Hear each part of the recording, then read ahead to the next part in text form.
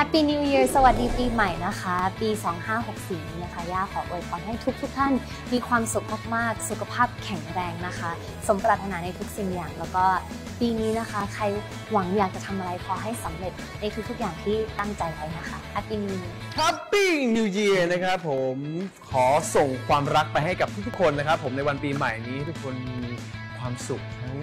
ร่างกายและก็จิตใจนะครับผมสร้างความสุขให้กับตัวเองรักตัวเองมากๆนะครับ ผมแล้วก็เผื่อแผ่ความรักไปกับคนรอบข้างกับครอบครัวด้วยนะครับ